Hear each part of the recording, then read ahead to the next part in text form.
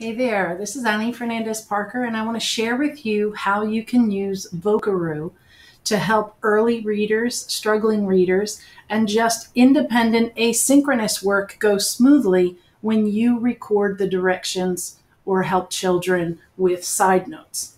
So, the power behind Vocaroo is that you can download these notes, they're unlimited time. And when you download them, you don't have to worry about them being on a server and being erased after a certain amount of time. Once you download it, you have the file. So what all you have to do is, the easiest way to teach you this is to show you, right?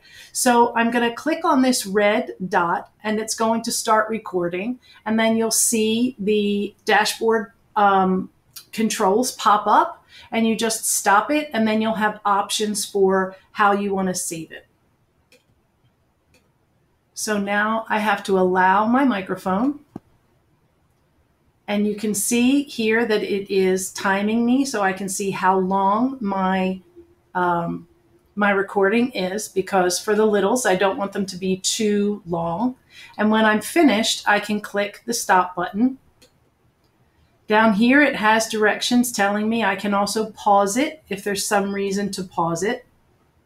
So there I go.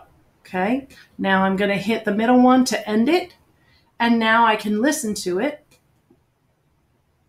And you can see here that it is timing me so I can see how long. All right. And then when I'm happy with it, I can click on save and share. Now, if you want to put these directions in your classroom on different walls so that if you've got stations up, the directions are set there for kids to listen to them. This works best with uh, tablets, right, that have QR code readers. So I can click on this to get a QR code and I can just download this to save it as a as an independent file or I can right click and copy the image and then paste it right into a Word document or a Google Doc so that I can print it out and put it on the wall. So that's one way to use it. And then I can also choose an embed code. So if I'm using a Google, um, if I'm using a Google site, I can click on this embed code and I can copy it and then I can embed it on a site using that.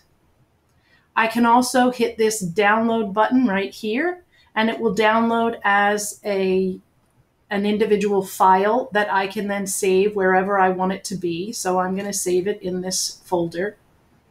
I can also click right here on this copy, and this is where it's super powerful for students because Vocaroo does not require logging in. It doesn't save any information. It doesn't track anybody. So you or students could copy this and then paste it somewhere.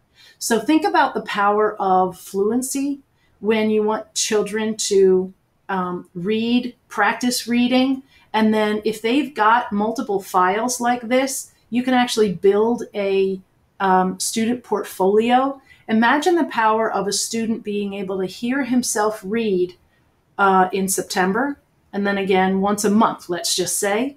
And when they get all the way to May and June, and then they go back and listen to September, that's going to be powerful because students don't realize that they're improving and that can help them to build their confidence. So, um, this is Vocaroo is a site that is just absolutely wonderful. It's free, uh, it's easy to use, they just keep making it better. So, um, I recommend that you try it out.